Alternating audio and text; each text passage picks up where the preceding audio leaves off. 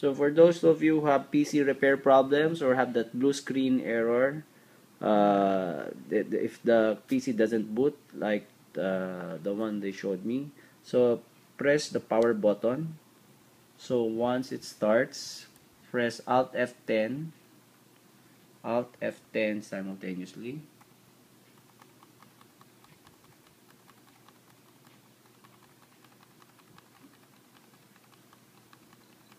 So pressing Alt F10, it will take a while.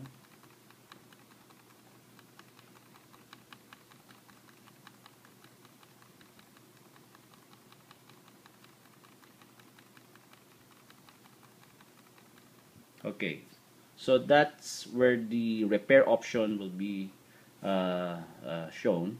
So if you have to exit and continue to use Windows, press continue. But if not, go to troubleshoot and refresh your or reset your PC or use an advanced tool. So what we shall do for the meantime is choose troubleshoot. And if your PC is running well, you can refresh it without losing your files. So I recommend first using this one. But if you use this and still doesn't, uh, your PC doesn't run well, try to reset your PC but be careful. It says here that you want if you will do this you will remove you want to remove all your files uh, you can reset your P it will reset your com PC completely. So all, all data will be lost. So if you have a chance to back up your data back it up now.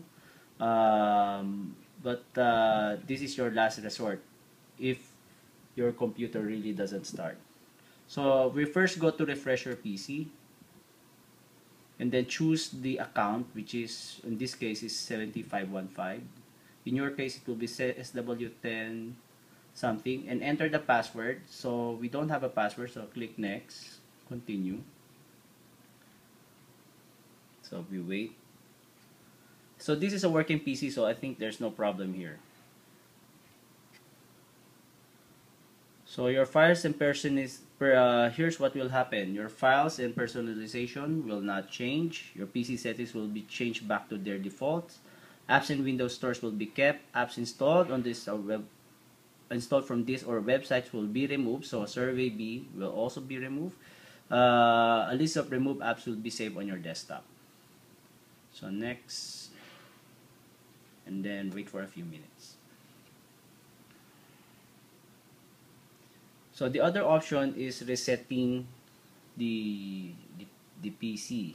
So so it takes a few minutes, it depends.